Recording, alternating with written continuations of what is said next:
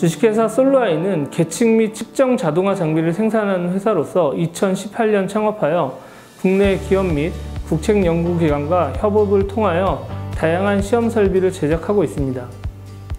자동차 부품 성능과 내구 시험기, 반도체 측정 시험기, 다양한 분야의 측정과 자동화에 대한 경험을 가지고 있는 회사입니다. 자동차 부품 시험 설비를 위해서 다양한 기술이 필요합니다. 기본적으로 측정 기술과 측정된 많은 양의 데이터를 저장하고 분석하는 기술입니다.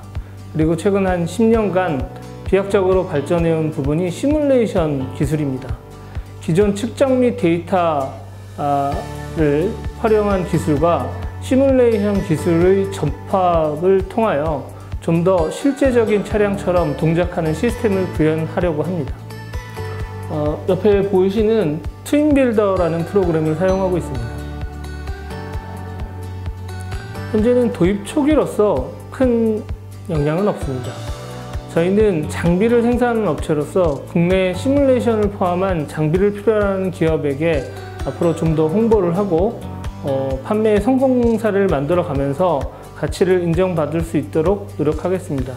과제를 통해서 좀 더 기술력을 확보하고 이를 통하여 차량에 대한 배터리 연구 부분에 국내 업체와 프로젝트를 할 계획을 가지고 있습니다. 이번 창업진흥원의 과제를 통해서 NCS의 소프트웨어를 좀 더 많이 알게 되었습니다. 활용성이 매우 높을 것으로 판단되며 다양한 분야에 활용하기 위하여 시간과 노력을 투자할 계획을 가지고 있습니다. 이를 통해서 NCS의 시뮬레이션 부분과 실제 시스템의 물리적인 부분을 잘 융합할 수 있는 시험 설비를 제작할 수 있을 것 같습니다.